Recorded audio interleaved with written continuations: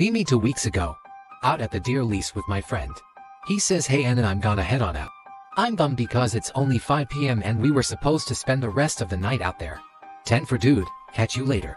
He leaves the blind and heads off through the woods towards the trucks. About 40 minutes later I hear a tapping on the door. Look out the slide on the door. It's my buddy. He doesn't say shit so I just let him in. Thought you were heading out man. You weren't gonna quit on me. Notice he doesn't have his rifle. Where's your gun dude? Oh, left it at the truck. Oh well. Shit you may as well have gone home Hile. He just smiles and sat there, didn't say a word. Except for the occasional grunt of acknowledgement and hum of interest.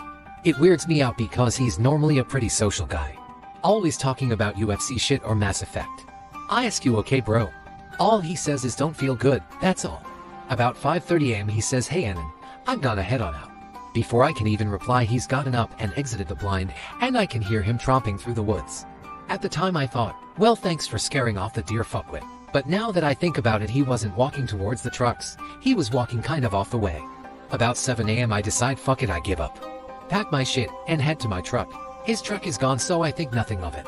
The reason I'm bringing this up is I talked to him earlier today. And was asking if he felt better and he looked at me confused and said what do you mean Anon? You know, after you came back to the blind you said you weren't feeling good. Figured that's why you weren't running your mouth about quatrain pussy. He looked at me like I grew a second head and said Anon, dude, I didn't come back to the blind. I drove home, got home at 8 and went the fuck to bed. So yeah,